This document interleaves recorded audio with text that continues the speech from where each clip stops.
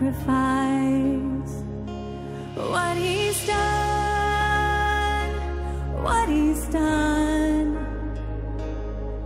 All the glory and the honor to the Son. My sins are forgiven. My future is heaven.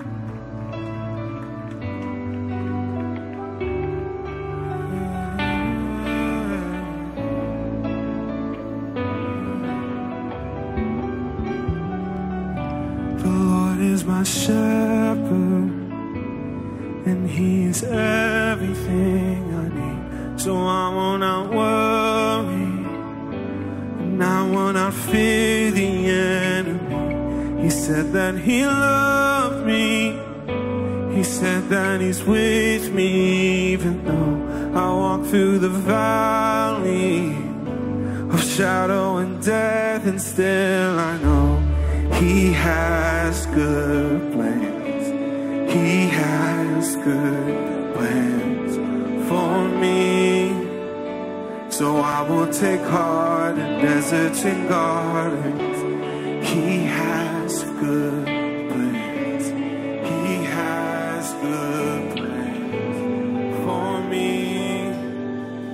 I know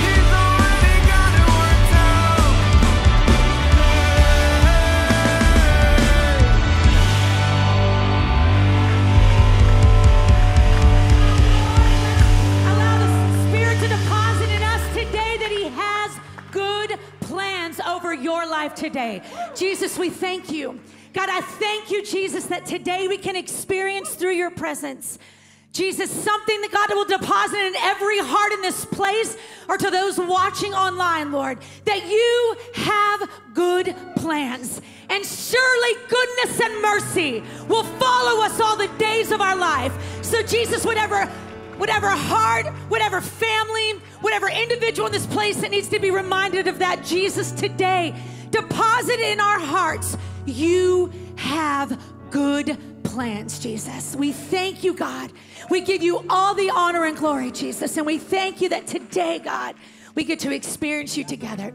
Thank you, Jesus, in your name. Amen. Amen. Good morning. Welcome to Angelus Temple, the Church of the Dream Center. Thank you guys so much for being here on this rainy Sunday. You guys are amazing. You guys are awesome. Welcome. If you are visiting here today, or maybe you've been coming for the past couple weeks and you're wanting to know a little bit more about what Angelus Temple is, who we are as a church, the heart and vision of Angelus Temple and the Dream Center, and most importantly, how you can be a part of that. We have a Next Steps class that we do after every service, and it's right across from our cafe, which is right through those doors. And right there's a room right there, and it's our Next Steps room. And right there after service, you can ask questions, and it's an opportunity for our team to get to know you and get you plugged in to the heart and life of this church and help you serve this great city with us. And something that we do every single service is we love to hear a life changing story, a testimony about one of the ministries of this church, and really through one of the programs right down the street at the Dream Center. And today we get to hear from Lucia, who is a part of our Emancipated Youth Foster Home. And so I'd like to invite her out right now, and we're gonna get to hear her share her heart about what God has done through her life since she has been a part of this church and the Dream Center. So, Lucia, come on out. Why don't you share with us what Jesus has done in your life? Good morning, everybody. Uh, my name is Lucia Juarez. You know, some of y'all know me by my daughter Arya. Um, I just came here to share my story. I've been through going through a rough time, you know, since I was a child.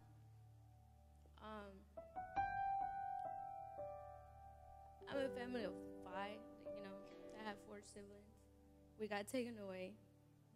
We ended up in DCFS and I went through a domestic, like you know, abusive domestic home, and I was afraid by my own mom, my mom, and she hit us, but you know, me and my brothers and sisters and all that, and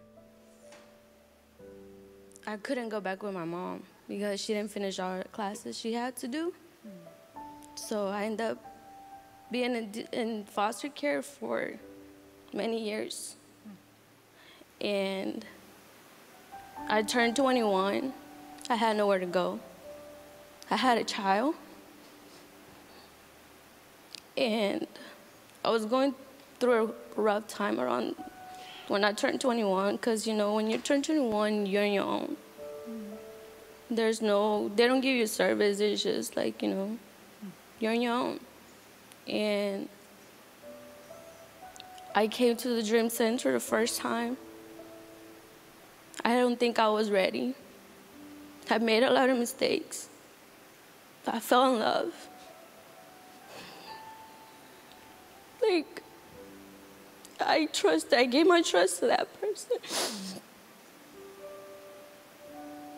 I only end up hurting myself all over again. I got pregnant. I was sleeping, you know, friends to friend, house to the houses again, going through the same thing. You know, I don't know what's like, what am I doing? What did I be doing, you know? And um, I came again to the Dream Center and I talked to Ms. Lay. She told me just come back. And I was ready to give out everything.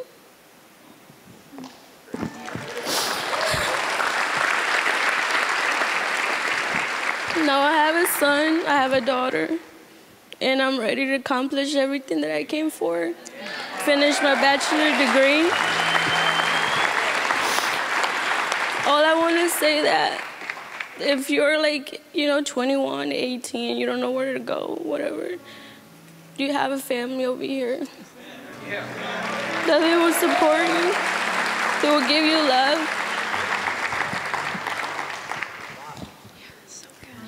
You're not alone. That's right. That's right. That's right. That's right.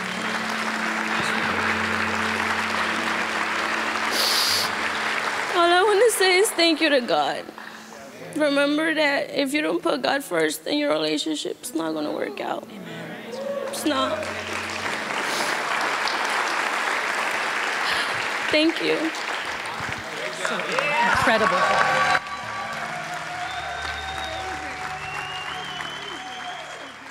Come on, you got to give the Lord thanks for that.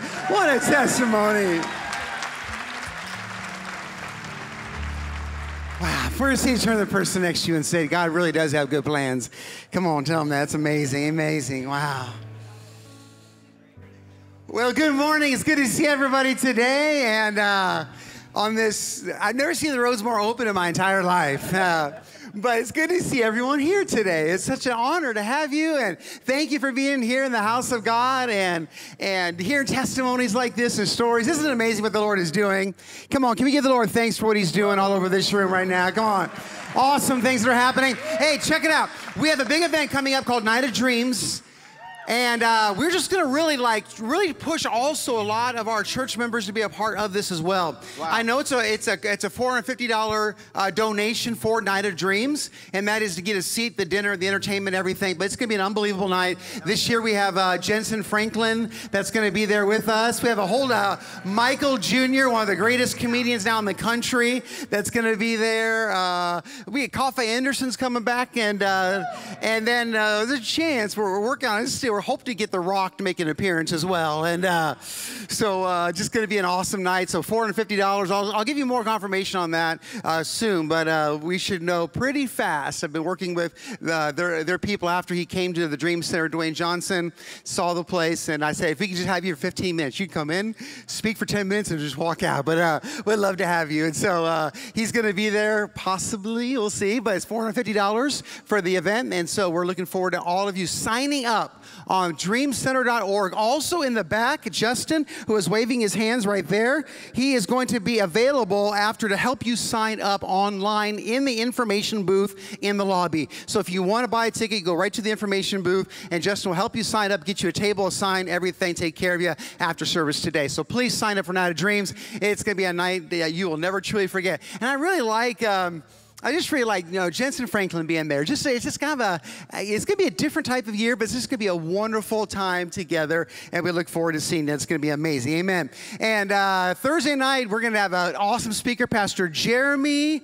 It's hard to say his last name, but Pastor Jeremy, he's an unbelievable pastor in Houston. Actually, what's happening in his church is truly amazing. He uh, came here from um, from Africa to pastor a church in Houston, and I mean, it's going through the roof there. So you are going to love him this week. A brand new friend that we have met. It's going to be a great time on Thursday night. And Thursday night, wasn't that amazing? Thursday, I think we had the biggest Thursday night service we had all summer, and we had no teams. It was like I, I was astonished how huge Thursday night was. So uh, uh, look forward to seeing you there. We're going to receive the offering now and encourage all of you uh, to give today to make a difference. This is the last, no, it's not. It's the last Sunday. It's close to the last Sunday of the month of August. And uh, it is, God has been so good. I, I, I'm not going to say it hasn't been a little bit scary. Because it's been very scary. It's been walking on the tightrope all summer long, uh, trying to keep this engine going. You know, um, with everything that's happened, with the cost of everything, it's, take, it's gone through the roof. And, and uh, but yeah, you know, we're, we're, as Elton John said, we're still standing. Yeah, we're still standing. But uh, I don't know if he's a disciple or not. I don't think, I don't know. But anyways, but, uh, but we've just been hanging in there, fighting the fight, helping people, serving, making a difference, loving, and just God's been so good. And you can't say God's good only when you're in unbelievable abundance.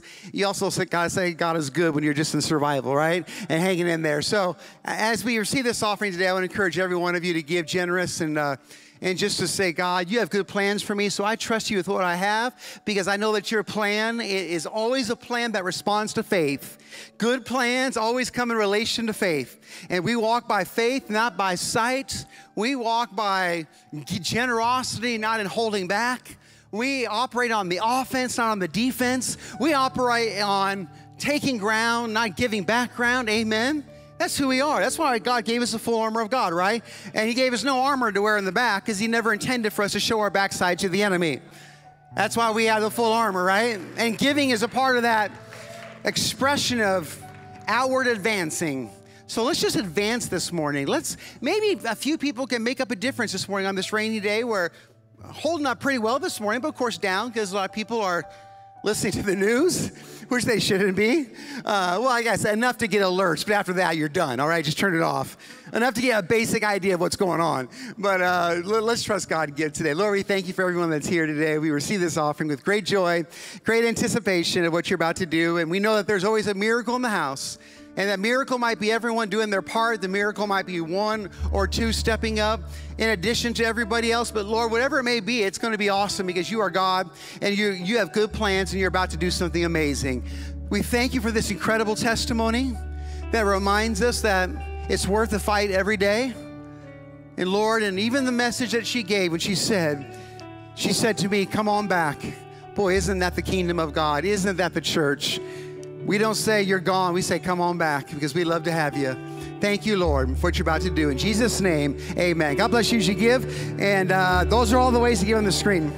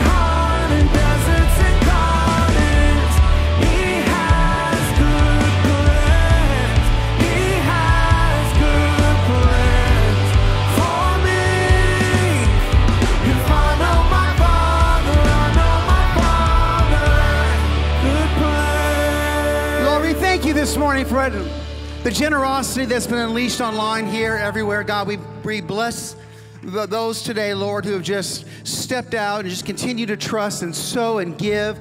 May they have a harvest that will always allow them to be a blessing everywhere they go. In Jesus' name, amen. Amen. Well, I'm going to speak this morning on the subject of enthusiasm. Enthusiasm. 1 Thessalonians chapter 3 and verse 6. But Timothy has just now come to us from you, and he has brought good news about your faith and love.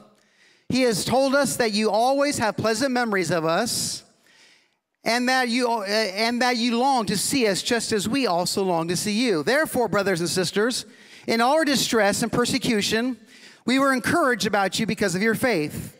For now we really live since you are standing firm in the Lord. How can we thank God enough in return for all the joy we have in the presence of our God because of you? Night and day, we pray earnestly that we may see you again and supply what is lacking in your faith. One thing I love about the Apostle Paul is that he was dealing with so many churches that were struggling to move forward, to advance. And he would always spend time, you know, in, in the parts of the Bible that we always look over, you know, greetings and salutations. We're like, okay, let's get to the good part. And we kind of move past them. But that's really a good part because what he's trying to do is when he's writing letters to these churches, he's trying to tell them and encourage them that they're doing good that you're on the right track. Just keep on going. And later he'll address some things that they need to fix. But he always starts off with overwhelming encouragement because he's trying to build something that we always have to watch that we can lose as believers and something that we can always lose through life. Circumstances, pain, setbacks, trials, reversals, betrayals, all of that. And that is the devil is always trying to get to that place of enthusiasm with our life. He's trying to take away the greatest gift that we have to give to the world, and that is that joy of the Lord is our strength. So he's fighting that. He's, he's battling that. He's dealing with that. But he's dealing with it, first of all, from the place of enthusiasm and encouragement. And how many here know that it's important before you rebuke someone, you got to start off and talk about the good that they have done, right? I always knew my dad was about to rebuke me growing up because he would give me a long list of encouraging things I've done well. And I'm like, oh no, what's coming next, right? You know, it's like, yeah, you're good at this, son, you're good at this. And then I'm like, thank you, dad. I'm like, oh no, what's coming next? But uh, he was trying to encourage at the same time. If there's ever a time that our world needs encouragement, is right now. Because how many know we live in a world? I mean, recently I heard a, a, report on television that said that in Chicago, there's certain times now they're begging people not to commit crimes. Certain times on weekends, they're like, don't commit crimes in this area now because they have given up the idea that people could rise above this or be more or maybe provide opportunities for some of the people that are doing these things. Because when you have no vision and dream for your life and there's no one advocating for you, of course you're going to be committing crime. And so instead of dealing with those things, it's like, don't commit a crime during these hours. As if to say, you know, we don't really believe that there's anything more. But as God's people, we ought to speak enthusiasm all the time. We ought to speak hope and expectation all the time. You know, yesterday, um, with all that was um, taking place with the reports of the hurricane, we, get a phone call from um, Officer Press from the LAPD, and he said, "Would you take a family into the Dream Center because they're living in a tent and they just got uh, evicted out of their place? They've been living in a tent in an alley. Would you take them in?" And our team said, "Of course, 100%, yes." And I'm getting this text from Kelly explaining the whole situation of what's going on. And in the end, she says, I told them we'll take him in at 5.30 today, and then we'll uh, process them on Tuesday to get further along in their development. And then, then the second text she sent back to me was, there she is. The second uh, text she sent back to me was, uh, thank you so much. She goes, I love my job so much. You know, inconvenience on a Saturday at 5:30, which we don't believe in the gift of inconvenience. We believe the gift of inconvenience is powerful, right? But at 5:30, getting that message and then responding to it and then providing a solution. I thought, wow. And then you look at our world today that says don't praise kids too much or don't encourage them too much because they might grow up smug. And that's the worst advice I ever heard in my entire life. I mean, right? God forbid we raise kids in this nation who have a little bit of love and support and encouragement, and I can do all things through Christ who strengthens me. Like, don't, don't encourage them too much. They might grow up prideful. But can I tell you something? Encouragement doesn't bring smugness. Encouragement brings humility because the essence of encouragement is to lift somebody else up. It's when you encourage your kids, when you encourage people around you, that spirit gets in them and eventually it's going to pass on to somebody else. The ultimate sign of humility is enthusiastically lifting up another person. And there is such an assault of our generation right now of any positive value is that the moment someone sees a parent lavish love or encouragement or praise, I mean, we even try to kill that, right?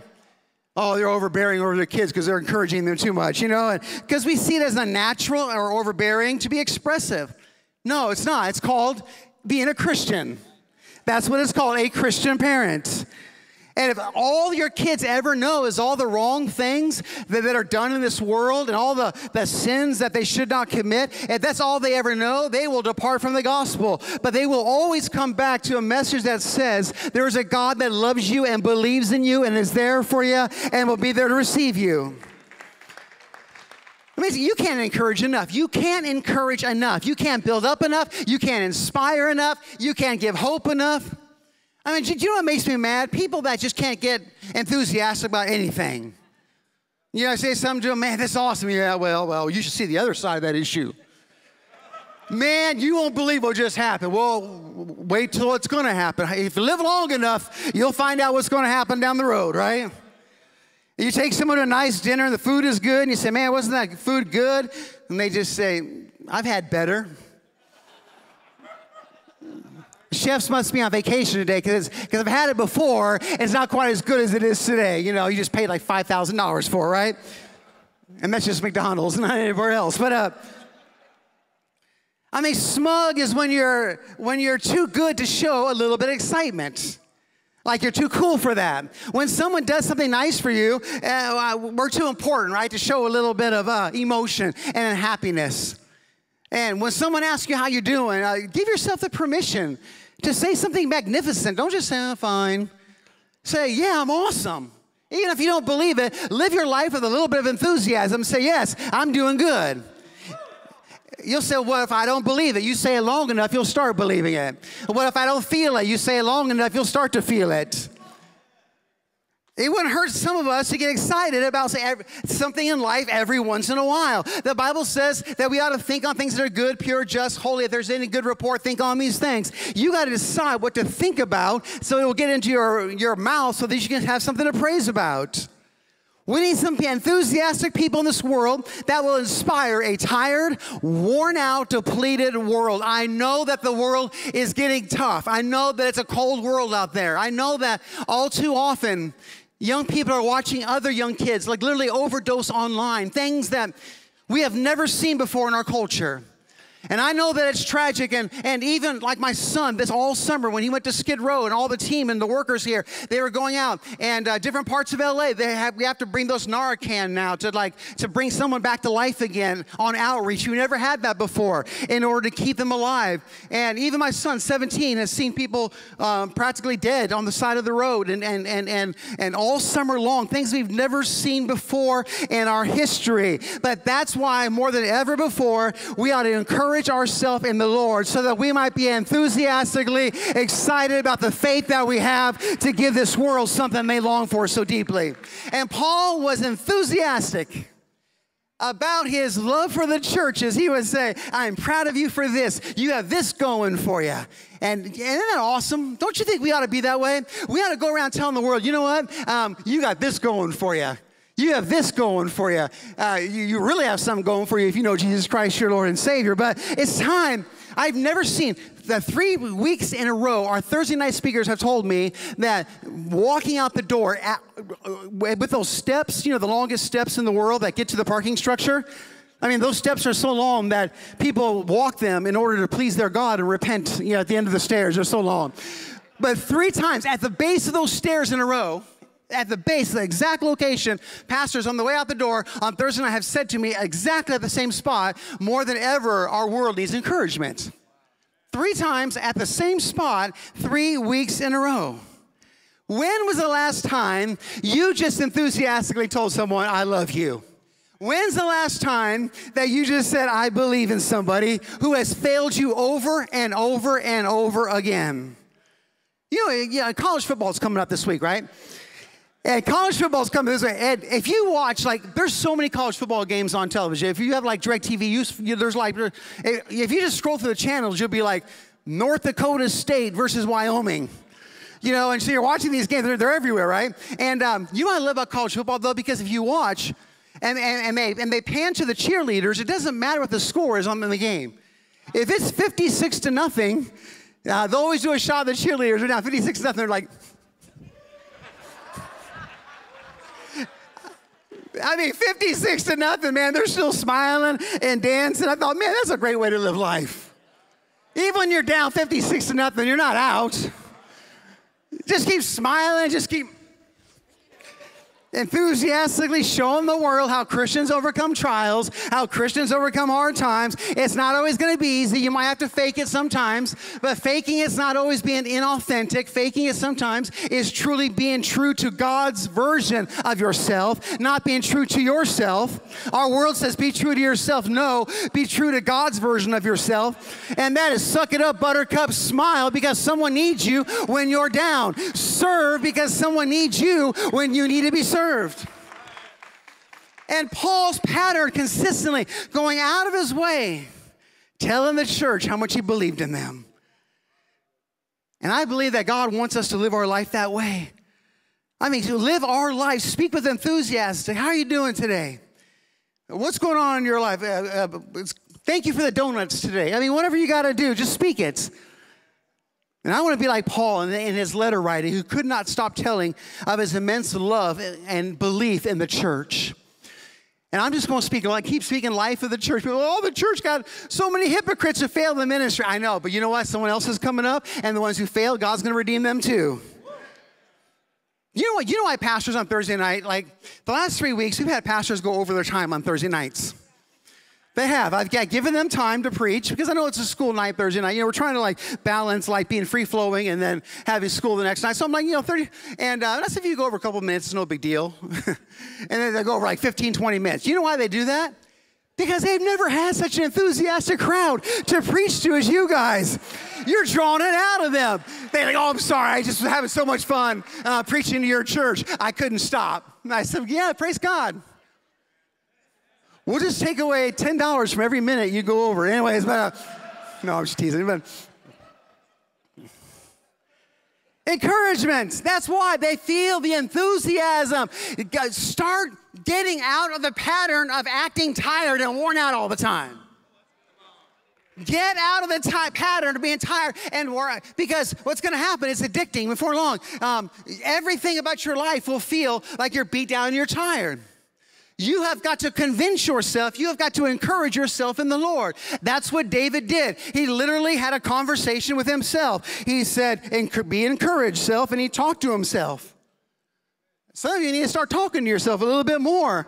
You'll see people think I'm crazy in the car if I do. I, have had people all the time. I pep talk myself, man. I'll put on some like, I, I know this sounds weird, but Dr. Dre instrumental. Dun, dun, dun, dun, dun, dun, dun, dun. No words because I'm trying to pray, but I like the beat. I'm like, I'm fired up. I'm a child of God. Dun, dun, dun, dun, dun. The words would take me out of the presence of God, but the beat, I don't know, it just kind of works. And sometimes I just like hype myself in the car, but I start pounding on that. People think I'm nuts. People are making phone calls to the police and everything, and uh, police pull me over. There'd be like someone's like said that you were uh, freaking out in your car and you're talking, and they're they're just trying to catch me riding dirty. But I'm just not. It's not that way, you know. And enthusiasm. Someone hits your knee, let it pop up a little bit. It's an I can spirit. It's a we can do a mantra. And you know what falls apart? Marriages fall apart when people uh, lack enthusiasm anymore. Churches fall apart when they lack enthusiasm and that I can spirit. You look at any sports franchise, you look at any major business, any church that has turned the corner, any organization that's gone from something to dead to alive, you will always see one thing in common with any resurrection of a sports team, a, a, a, company, or a church. And the one thing they had in common is they did not lose their enthusiasm about their expectation of what's going to happen tomorrow. We can do great things with enthusiasm. Do you remember years ago there's that guy called the Juice Man who used to sell that juice machine on television? He had the bushiest eyebrows I've ever seen. I was just, he lured me in. I'm like, man, one, one of these days I need to get eyebrows like that so I lose my hair. He's coming back. but, but I saw the juice man, man, and he had this thing. He was like, today we're just going to make amazing juice. And he would like, and back then it was so incredible. You know, he would take something and he would put like a carrot in there. He'd be like, carrot juice. Apple, apple juice. And he would just like make juice out of everything. I didn't realize that that really wasn't that hard, but to me it sounded incredible. He could throw something in the machine and make a, a, a juice out of it, you know? And uh, I was 16 years old. One night I literally, I was so enamored by, I don't even like that kind of stuff, but I was so captivated by his presentation, I stole my mom's credit card and I bought a juice man machine. I mean, don't you think we as a church of Jesus Christ should be more excited about the product that we have than a dude selling juice? Salvation, forgiveness of sins, second chance, a hope, a redemption of faith, eternal life, help getting off of drugs, help getting free from addiction. I'm not going to let some juice man get more excited about anything than I am about Jesus. Amen. I'm not going to let Richard Simmons run around in his little red and white striped Speedo shorts dancing with the oldies, getting pumped up about his diet meals than I am about Jesus. Amen. Paul's enthusiastic for the gospel. Enthusiasm for the gospel caused the gospel to spread like wildfire. If we can just get excited about God and His Word and the verses that we always quote and we let them come alive in our heart, just think what we can do. Our world is full of, of, negativity, disdain, fear. We can change it by being enthusiastic about this wonderful life in which God has given us. Ralph Waldo Emerson said, Nothing great has, was ever achieved without enthusiasm. Winston Churchill said, Courage is going from failure to failure without losing enthusiasm. Dale Carnegie said, act enthusiastic and you will be enthusiastic. Let me repeat that. Act enthusiastic and you will be enthusiastic. Zig Ziglar said, for every sale you miss because you were too enthusiastic, you will miss a hundred because you weren't enthusiastic enough. Edgar Allan Poe said, there is eloquence in true enthusiasm. Anatole Francis said my favorite one I prefer the folly of enthusiasm to the indifference of wisdom. Enthusiasm is contagious, and let's start spreading it around.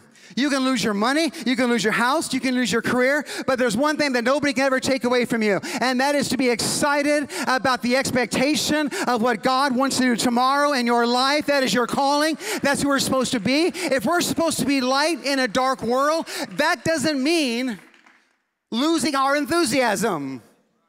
It means we need to be enthusiastic about what God's about to do because what's going to happen is we're going to let circumstances crush us to the point where all we do is speak death over our life. And the Bible says you got so many good things going for you. This book has declared promises over your life that guarantee that you're going to make it. You have a Savior that loved you enough to die for you, who already declared you a winner. You have the hope of eternal life in Christ Jesus. Oh my goodness, you have a promise that if you fall, He will pick you back up again. And no matter where you are today, if you've lost your hopes and dreams and future, can I introduce you to someone who can bring the enthusiasm and the passion and the joy back to your life? Hallelujah. No, no, no, I'm not, I'm not going to do that. I was going to take a victory lap, but uh, we saw what happened last week. Another one bites the dust. But the, the good thing was this I never lost my enthusiasm even when I hit the ground. Amen. You stay encouraged. Just like you discipline yourself for a skill, a knowledge, a wisdom, or anything that you in life, you've got to discipline yourself to live a life of enthusiasm and life of encouragement. There's been times in my life where I've gone to churches and I've preached, and it's been the deadest crowd I've ever been to in my entire life.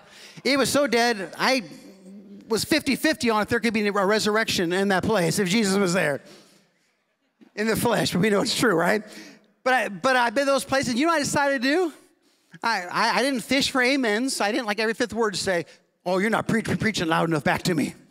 You know, I didn't try to pull it out of them. You know I just did? I just encouraged myself. I said, Lord, I'm preaching a good message the whole time.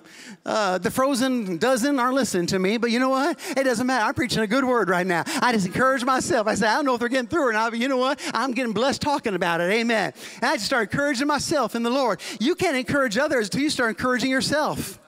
You got to pump, you got to encourage yourself, and you have all the ability to do it because you got the Word of God, you've got prayer, you've got worship, you have all these things available to you. You got all these weapons, you got all the items on the buffet. You can eat as much of as you want. You can read as much as you want, you can listen as much as you want.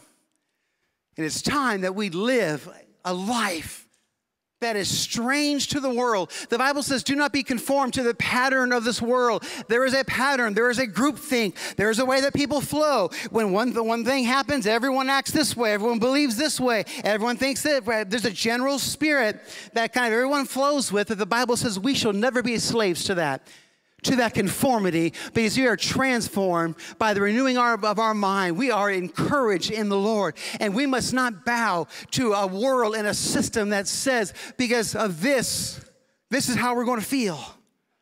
And this, and this is the way, the tone. No, the tone is whatever we decide it's going to be because of what God has declared over our life.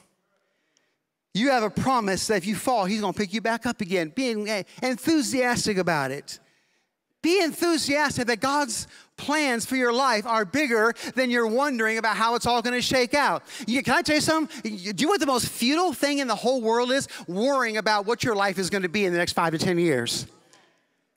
That's the most futile thing because if, if my life did not turn out anything like I thought, it was going to take in five and 10 years. Why in the world would I have a, like, if I had a plan that was geared towards five years, you know what would happen? We wouldn't have a dream center. I have a lot of weaknesses in my life, but there's one strength that I had. I really believe as a kid growing up, and one thing that I learned as a kid is that I'm just going to show up and do what God wants me to do, and wherever He leads me, it's going to happen. So I'm just like preaching on weekends because people ask me to speak. I said, okay, I'll preach, and I wasn't like just because I was Tommy Barnett's son. That's why. They thought I automatically could preach, and I'd stumble and stutter back then and everything.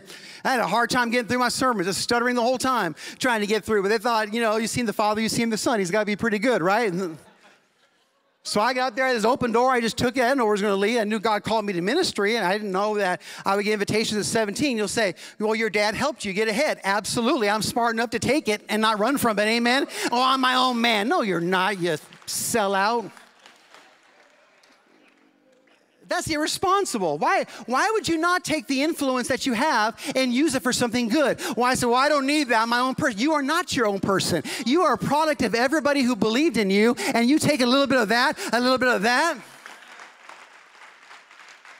And you gain on what God has given you, and you keep going. Everyone has advantages and things in your life. Use them. Your pain is an advantage that someone else might not have, that God could greatly use you in a way nobody else could be used. Use it to your advantage. Don't waste your pain. Be enthusiastic about what you have. Use what you have. And realize that everything that God does for you and opens up for you is a gift that we ought to use to be responsible enough to steward the, the open doors that He gives us. And so, you know, I told God, I said, God, if you've given me all these relationships and contacts, you've seen the preachers on Thursday night and all the people, why, why would I turn that away when I can give a voice to so many people who are struggling with homelessness and addiction? Rather than turn that away, why not use that to build something in, in, in downtown Los Angeles that would serve people that had nobody to fight for them? But enthusiasm is seeing opportunity, it's gathering, it's learning, it's growing. Don't, don't, don't get to the place of your life where you overplan your life so much to where you can't pivot to the call of God that He has for your life. The best thing I ever did was rip up my five-year plan. Because you know my five-year plan did? It limited me. My five-year plan kept me into a box. My five-year plan said this is exactly the church model that works for someone else. It's got to work for me. I thank God that I ripped up that five-year uh, goal the plan and we just started helping and serving people. And Marco's right here. He's one of the first guys to come in and serve with us. Right here, got his little truck and started going down the street ministry with us. Stand up, Marco. This guy's a legend right here. He's the first guy that came to my side when we first started. Got his old, old truck. He knows the story. We had nothing, but he'd come by and say, Man, we've got 300 candy bars. I'm like, What? We're gonna give away 300 candy. I'm like, That's, that's mind boggling. But you know what? You spend your life and you just say, God, in all your ways acknowledge me. I will, you will direct my path. I just acknowledge you with what I have. Three bags of candy, four bags of food. I'm going to be enthusiastic. People say, Pastor, did you get excited when you got into the Dream Center building and you bought it and you all that uh, miracles of raising the money to get it and all that? Was it and you you guys had that run where you marched down Hollywood and that was the day you moved into the building? Was that the best day of your life? It was a good day of your life, but you know what? It was just as fun. Back in the days, we threw away the five-year plan and we just started like helping people with whatever we had in our hand. That was just as fun as now because serving is not a destination. It- it- it's, it's a condition of the heart that just never stops being excited about making a difference in someone else's life. You know what keeps me going? That testimony this morning, oh my goodness. The fact that she said, come on back. Man, I can, I can ride on that for 30 days right there. That'll give me 30 more days of inspiration. But you got to choose to find things that encourage you and live and say, God, I am not going to allow my life to diminish in enthusiasm. No matter where the world takes it, I'm going to live as a different people, a peculiar people, the Bible calls us, who show forth the praises of our God. And my encouragement to you is you look every day and find something to be enthusiastic about, something to be excited about, because God has put things around your life every day. And say, God, I will choose to rejoice on what I have, not what I wish I had, and I'm going to build on that foundation and enthusiastically serve you. I say, Pastor, what, what, if, what if I get enthusiastic and the world lets me down and I fall? You saw last week, I fell.